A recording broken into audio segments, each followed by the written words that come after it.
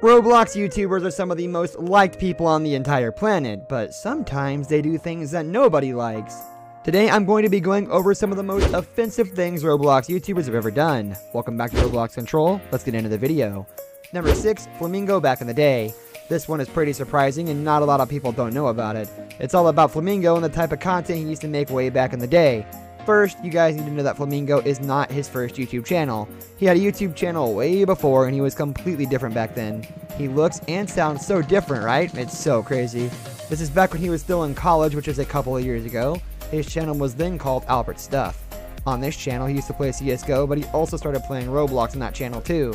But on this channel, he used to curse a lot and say a lot of really inappropriate stuff, so it was not family friendly at all. He tried to be family friendly when he started playing Roblox, but his old content stopped him from making the money he was supposed to make from his videos. So that is exactly why he made a new channel called Flamingo. He still says quite a few crazy stuff from time to time, but it is definitely not as bad as the things he used to say back in the day. What does that mean? You gotta click all the lamps or something? What's the issue? Why is it so noisy?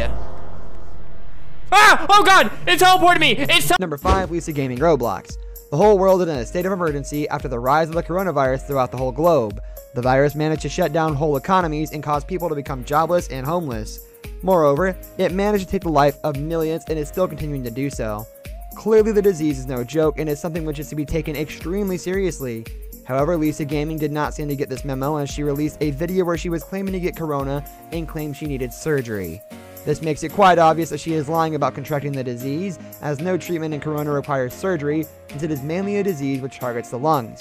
She lied about having the disease just to rack up more views and gain more subs, as people would subscribe to her out of sympathy.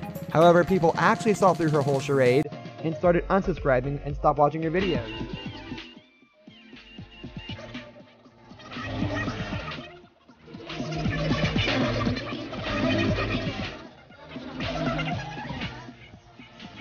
Number 4, Corl from the Pals fights with a fan.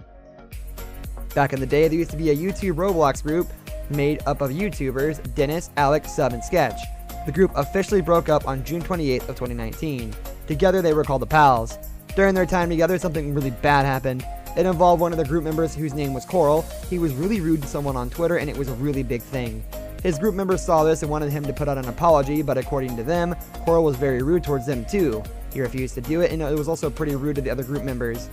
They then decided to kick him out of the group because they were really not happy with his action. Game's actually pretty relaxing. I lied. This game is actually very hard, as we can see displayed by my failure. Okay, round two. This is where it starts to get. Number 3, Magpie.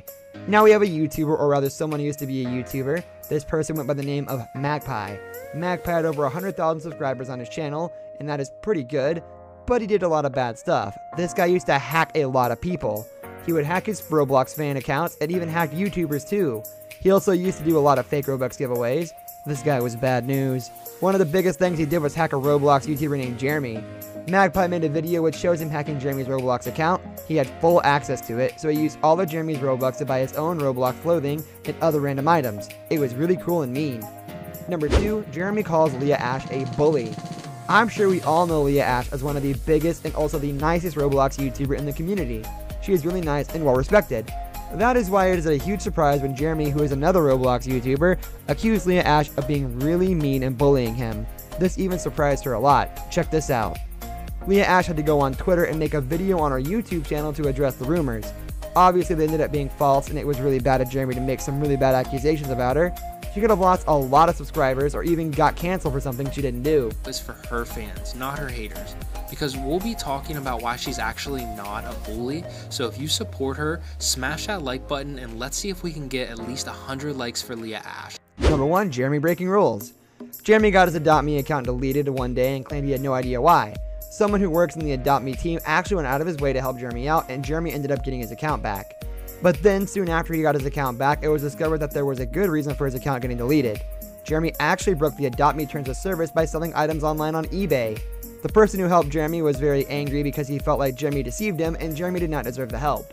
This brings us to the end of our video. I hope you enjoyed it. Hit like if you did, and don't forget to subscribe to our channel so don't miss out on any of our videos in the future. Also watch the two videos that are on your screen because I'm sure you'll love them. With that, I'll see you in the next video.